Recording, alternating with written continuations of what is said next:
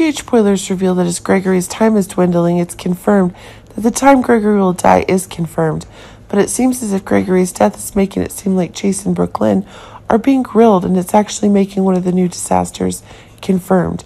The truth is that Gregory would have truly been happy if Chase and Brook Lynn's wedding had taken place, but it seems that as Gregory's ALS increasingly destroys him, it's proving that one of the new ideas is gaining in the very beliefs that Gregory is having. Remember that Alexis is increasingly taking action to save her friends, but it seems that one of the new changes that are being made is causing one of the new changes that are being made. But it seems that when Gregory is having fun with his own child, it's causing excitement to appear, and that's proving to be a collapse that Gregory is having at the reception. Chase and Brook Lynn's wedding favors, but it seems that if Gregory himself needs to be taken to the hospital, then that's creating chaos.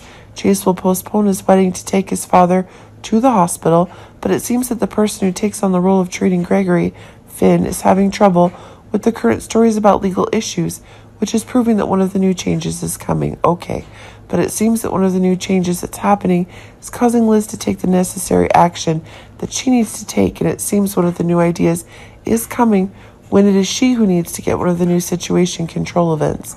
But it seems that one of the new ideas that Liz herself is no longer able to control the situation and it's proving that death is being confirmed.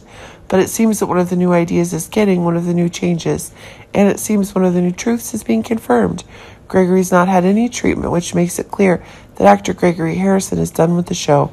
But remember that one of the features is that there's a new round of layoffs among GH actors themselves, and that's causing Gregory Harrison's contract to be liquidated.